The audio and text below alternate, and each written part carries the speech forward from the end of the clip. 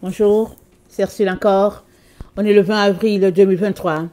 Alors, je viens sur la trompette aujourd'hui encore et je viens proclamer le retour de notre Seigneur Jésus-Christ. Amen et Alléluia. Alors, je viens parler de Je suis l'Éternel qui te guérit. Amen.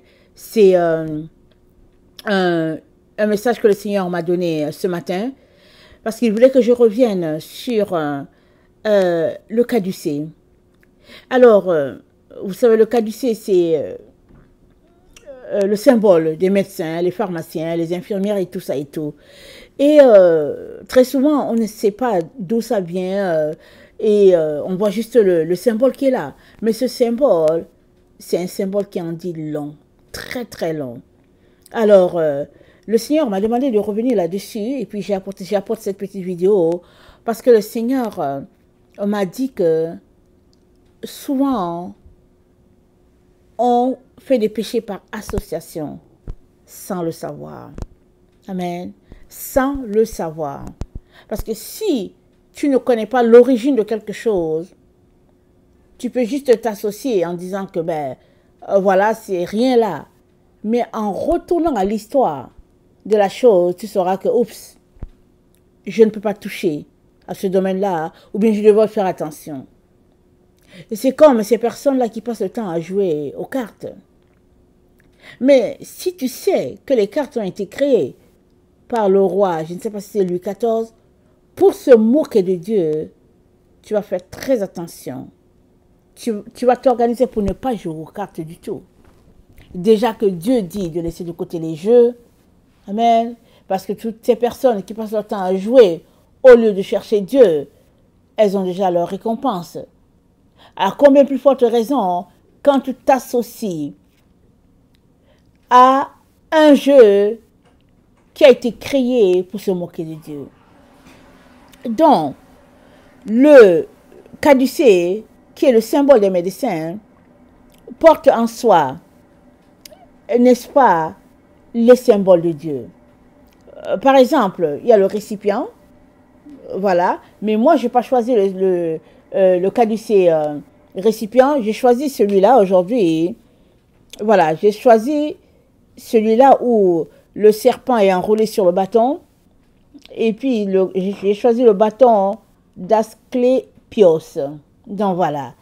Alors, nous sommes informés donc que euh, Esculape était un dieu grec, ou bien est un dieu grec. Alors, le bâton le représente. Le bâton, ça représente l'arbre de vie. Donc, Esculape, c'est lui l'arbre de vie. Et le serpent est enroulé autour de l'arbre de vie. Et le serpent accompagne le dieu Esculape. C'est-à-dire, Esculape est donc revêtu de tous ces pouvoirs-là pour guérir, pour ramener la santé dans le corps de la personne.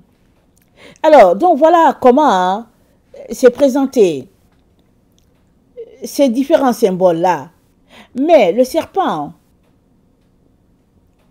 Moïse l'a élevé dans le désert, alors qu'Israël était dans la désobéissance et qu'ils allaient mourir parce qu'ils ont méprisé Dieu. Dieu a dit à Moïse, si tu élèves le serpent et que Israël regarde le serpent, ils ne vont pas mourir. Alors, tous ceux-là qui regardaient au serpent, qui avaient foi que Dieu pouvait faire quelque chose, ne mourraient pas.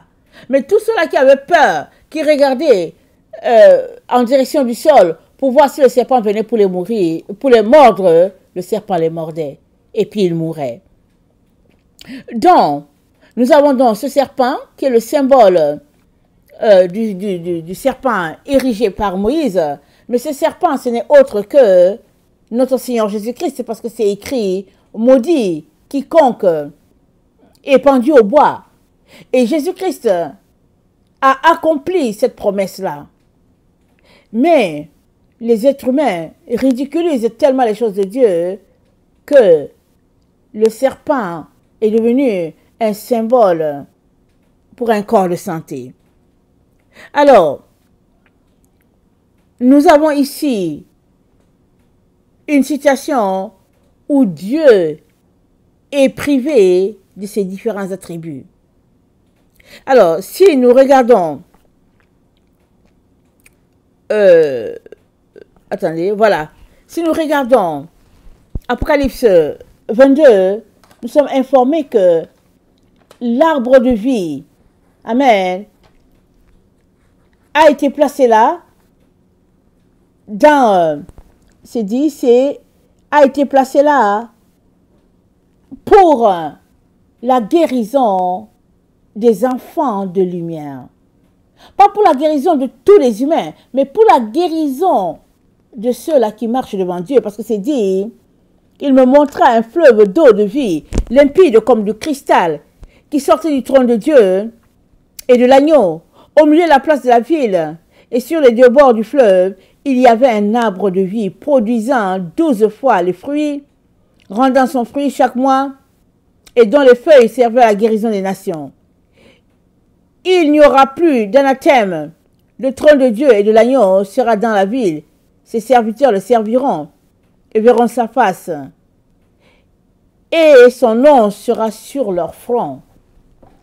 Donc, ça parle du trône de Dieu, de l'agneau de Dieu, là où il y a l'arbre de vie, là où les enfants de Dieu qui ont triomphé du mal vont euh, régner. C'est là que se trouve l'arbre de vie. Mais ici, nous sommes informés que l'arbre de vie, finalement, c'est aussi le Dieu d'un grec. C'est aussi le nom, au fait, du Dieu grec. C'est-à-dire pure idolâtrie, pure abomination, pur mépris de Dieu. Tous les éléments importants de Dieu sont tout simplement piétinés, ne sont pas du tout considérés. Et en regardant aussi Proverbe 3, verset 18, nous sommes informés que la sagesse divine, c'est elle l'arbre de vie. Alors, l'arbre de vie, c'est un projet très cher à Dieu. Parce qu'au départ, il avait placé l'arbre de vie pour le bien de l'homme. Mais quand ils se sont éloignés de Dieu, quand ils ont été souillés, Dieu a mis l'arbre de vie en sécurité pour que Adam ne vienne pas le toucher et puisse vivre éternellement dans son corps de souillé.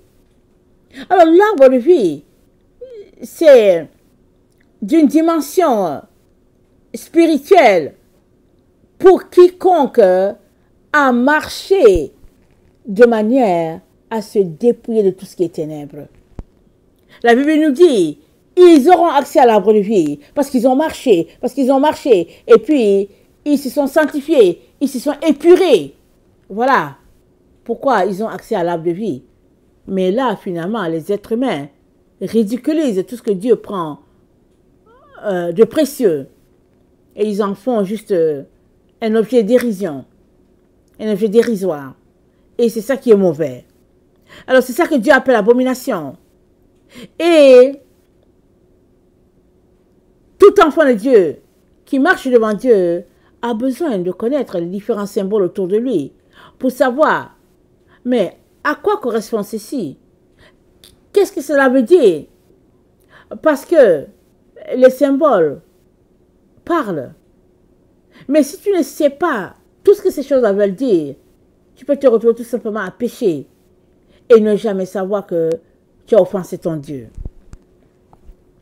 Et puis, tous ces symboles-là, qui sont au fait les attributs de Dieu, une fois qu'ils sont pris, ou bien comme ils ont été pris, Amen, ça représente tout simplement un, vol de la nature de notre Dieu, de ses attributs. Son pouvoir a été volé, son autorité sur sa création a été volée, son nom a été volé sur sa création, ses fonctions ont été volées, si bien que on ne connaît plus le Dieu qui guérit. On ne connaît plus l'éternel des armées célestes, celui-là qui guérit, celui-là qui a fait les miracles. On ne le connaît plus. Les humains connaissent tout simplement la médecine et son corps et tout ce qui se rattache à sa politique. Et la médecine est, est, est placée comme la solution ultime pour toute guérison. Donc, la médecine est devenue comme un peu le Dieu du peuple. Amen. Et le vrai Dieu a été laissé de côté. Il y a des humains sur la terre qui ne savent même pas si Dieu existe. Et tout ce processus, ça fait partie, n'est-ce pas, de tout ce qui a été mis en place par l'ennemi pour arracher à Dieu ce qui lui revient. Mais qui peut enlever à Dieu ce qu'il est? Personne. Parce que Dieu est Dieu. Tout ce qui est mis en place, ce n'est que illusion et séduction. Mais quels sont ceux qui sont séduits? C'est toi et moi qui pouvons être séduits. Ce n'est pas Dieu. Dieu voit tout, il sait tout. C'est pas lui que l'ennemi peut séduire. Ça veut dire que finalement, tout ce qui se passe, c'est dans le but de nous éloigner de notre Dieu. À toujours. Nous sommes donc appelés à nous réveiller et à réaliser que ce qui se passe sur cette terre, c'est dans le but de nous priver à tout jamais notre Dieu. Alors, quand on regarde les, les symboles sur le caducé, ou bien euh, le, serpent là sur le bois, on voit que par rapport à Exode, Dieu dit, tu n'auras point d'autre Dieu devant ma face. Et le Dieu qui a été présenté, c'est le Dieu Escalupe, excusez-moi le mot, parce qu'on dirait que j'ai oublié le nom. Amen, Escalupe peut-être, en tout cas, le Dieu de la médecine. Et puis, c'est dit, tu ne te feras point d'image taillée. Alors, il y a cette image-là qui a été taillée, le serpent autour du bois. C'est dit, tu ne te prosterneras point devant elle. Alors, on sait combien il y en a qui ne jurent que par le médecin. Tu ne prendras pas le nom de Dieu, l'éternel ton Dieu en vain. Alors voilà les symboles de Dieu qui sont juste pris comme ça, à la légère. Et dans un seul symbole qui est supposé être, au fait, une présentation, nous avons quatre attributs de Dieu qui lui ont été volés. Alors, Dieu nous dit que lui, il est saint. On ne peut pas en même temps nous associer aux différents symboles qui insultent Dieu et en même temps dire que nous sommes ses enfants. On ne peut pas. Alors, il est donc important que nous puissions aller un peu plus loin, n'est-ce pas, dans nos associations pour savoir avec qui est-ce que je mange, avec qui est-ce que je parle, et puis celui-là que j'appelle médecin, qui est-il au fait? Que fait-il? Parce que c'est pas parce que tu ne sais pas quelque chose que ton péché ne sera pas compté. Ton péché sera compté. Si tu es en association avec euh, quelqu'un qui commet des péchés, les péchés aussi sont aussi les tiens. Parce que le psaume 1 dit, heureux celui qui ne marche pas, celui qui ne s'arrête pas, celui qui ne s'assied pas. Cette personne-là, elle est heureuse. Heureux celui qui ne marche pas en compagnie des moqueurs, celui qui ne marche, euh, qui ne marche pas, qui ne s'arrête pas, qui ne s'assied pas en compagnie des, des, moqueurs, mais qui trouve son plaisir dans la loi de l'éternel. C'est-à-dire, on est dans un temps où on est appelé à marcher tout droit devant Dieu, revoir nos repères, et nous assurer que nous ne sommes pas en train de nous éloigner de ce que Dieu a établi, de ce que Dieu aimerait sur nos vies. Alors, je viens nous encourager à aller lire ces différents passages, le psaume, euh, le psaume 10, Hébreu 11, Exode 34. Je vais lire deux dedans, je vais lire le psaume 10 et puis je vais lire euh, Hébreu 11. Donc, le psaume 10, nous dit ceci. Psaume 10, le verset 4. Ça dit, car le méchant se glorifie de sa convoitise, et le ravisseur outrage méprise l'Éternel. Le méchant dit avec arrogance, il ne punit pas. Il n'y a point de Dieu. Voilà toutes ses pensées. Ses voies réussissent en tout temps. Jugements sont trop élevés pour l'atteindre. Il souffle contre tous ses adversaires. Il dit en son cœur, je ne chancelle pas. Je suis pour toujours à l'abri du malheur. Sa bouche est pleine de malédictions, de tromperies et de fraudes. Il y a sous sa langue de la malice et de l'iniquité. Il se tient en embuscade près des villages. Il assassine l'innocent dans les lieux écartés. Ses yeux épient le malheureux. Il est aux aguets dans sa retraite comme le lion dans sa tanière. Il est aux aguets pour surprendre le malheureux. Il le surprend et l'attire dans son filet. Il se courbe, il se baisse, et les misérables tombent dans ses griffes. Il dit en son cœur, Dieu oublie. Il cache sa face, il ne regarde jamais. Lève-toi, éternel, ô Dieu. Lève ta main, n'oublie pas les malheureux. Pourquoi le méchant méprise-t-il Dieu? Pourquoi dit-il en son cœur, tu ne punis pas? Donc voilà les questions, n'est-ce pas? Que le psalmiste se pose. Le méchant qui pose des actions méchantes, mais qui dit Dieu ne punit pas. Mais pourquoi pose-t-il ces actions? Et puis pourquoi Dieu ne punit-il pas? Parce que Dieu est un Dieu qui est patient, n'est-ce pas? Il est patient et il espère toujours que le méchant va revenir à lui. Il espère que son enfant qui s'égare va revenir à lui. Alors que tu as l'impression que il ne voit pas, il ne fait rien. Il prend tout simplement son temps. Et il regarde qu'est-ce que tu fais. Qu'est-ce que tu ne fais pas? Avec qui tu marches?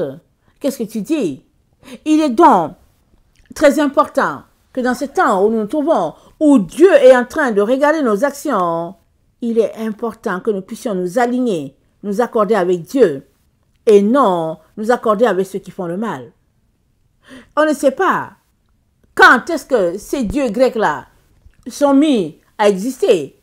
Mais on sait que tout ça, c'est de, de l'idolâtrie. Parce qu'il y a un seul Dieu.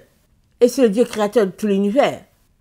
Mais tout ce que les hommes ont mis en place, qu'ils appellent Dieu, ce n'est que de l'idolâtrie. Mais ils ont tellement mis ça en place avec soin qu'ils ont pris tous les, attributs de Dieu et ils ont attribué ça à leur Dieu. Alors si toi tu ne sais pas, qu'est-ce qui se cache en dessous du symbole des médecins, des pharmaciens et tout, tu risques d'être tellement euh, confiant à 100% dans le système sans savoir que finalement tu es en train d'adorer.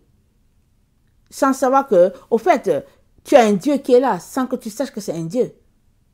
Et finalement, tu vas te retrouver un jour devant Dieu et Dieu va dire que tu as été idolâtre et tu ne vas même pas comprendre. Tu vas dire, mais qu'est-ce qui s'est passé? Mais au fait, c'est parce que tu t'es associé à une organisation, à un groupe, sans savoir au fait que c'était un groupe souillé, un groupe appartenant à l'ennemi. Mais toi, tu étais là, tu disais que ouais, j'étais malade, je suis juste venu pour me faire soigner. Mais au fait, tu t'es tout simplement donné à 100% à l'ennemi. Alors, suis-je en train de dire que tu n'as pas le droit d'aller à l'hôpital? Non, je ne suis pas en train de dire cela. Je suis tout simplement en train de dire qu'il est important que tu saches où se trouve la vérité, où se trouve le mensonge. Parce que la Bible dit, vous connaîtrez la vérité et c'est la vérité qui vous affranchira. On est affranchi quand on connaît la vérité. C'est pas le mensonge qui va nous libérer, c'est la vérité. C'est la découverte de la lumière dans les différents pièges que l'homme a mis qui va nous donner de retrouver notre direction. Il est donc très important que tu saches que Dieu guérit. Et c'est lui seul qui guérit à 100%. Et il te délivre complètement. Au niveau de la médecine, on soigne. Et c'est souvent teinté de séduction. Et le Apocalypse 18, le verset 23 nous dit ça. Il dit, le système Babylone a séduit les habitants de la terre par ses enchantements, par sa pharmacie, par sa sorcellerie. Les êtres humains ont été séduits. Mais au fait, à la fin, ils se sont rendus compte, bien ils se rendront compte qu'au fait, ils ont été égarés, loin de Dieu. Et Dieu te donne aujourd'hui de savoir tout ce qui se cache en dessous de cela, afin que tu puisses mettre Dieu prioritaire au niveau de ta santé. Es-tu malade? As-tu des souffrances à quelque part? Appelle Dieu. Bâtis ta vie, ta relation avec Dieu, de telle sorte que c'est lui que tu dois appeler à ta rescousse. Et il ne t'abandonnera pas. Parce qu'il fait encore des miracles aujourd'hui. Il n'a pas changé. Amen. Et dans Luc 12, le verset 35, c'est dit que vos reins soient sains et vos lampes allumées. Et soyez comme ces personnes-là qui attendent le retour de l'époux. C'est-à-dire, on doit être toujours aux aguets, on doit toujours être prêt, laissant de côté les valeurs du monde et épousant les valeurs de Dieu. Et dans Hébreu 11, je vais juste lire le verset 1. Dans Hébreu 11, voilà ce que nous sommes. Voilà ce que la parole de Dieu nous dit. Elle dit, Or la foi est une ferme assurance des choses qu'on espère, une démonstration de celles qu'on ne voit pas. Nous avons besoin de foi. Si nous voulons marcher avec Dieu, nous avons besoin de foi. Sans foi, tu ne peux pas te rendre. La foi est ce qui te donnera de donner ton 100%, toute ta confiance à Dieu, sachant que il te conduira à, bon port. Il te conduira. Alors, je viens nous encourager encore à nous remettre en question, à vérifier ce que nous, les actions que nous posons, à qui nous donnons toute notre confiance. Et une fois que nous, nous évaluons ce que nous sommes en train de faire, il est important de mettre Dieu en priorité. Il est important de lui donner notre 100% et de bâtir cette relation avec Dieu de telle sorte que lui seul soit le maître de notre vie. Pas un système, pas une organisation, pas une personne, mais Dieu est Dieu seul. Dieu, le créateur de l'univers, le, créateur de l'univers, que lui seul soit celui-là qui contrôle notre vie et qui est sa main sur notre vie. Que le Seigneur nous donne de bâtir cette relation de sainteté avec lui. Parce qu'il a dit, je suis saint, vous serez saint dans toute votre conduite. Dans toute votre conduite.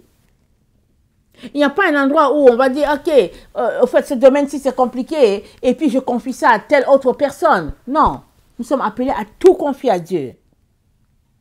Toute la sainteté, tout est à Dieu. Alors que nous laissons Dieu être Dieu, Amen. Lui, il nous aidera à nous bâtir et à être la personne que lui nous a destiné à être pour la gloire de son nom. Maranatha, que le Seigneur bénisse sa parole. Jésus revient. Amen et Alléluia.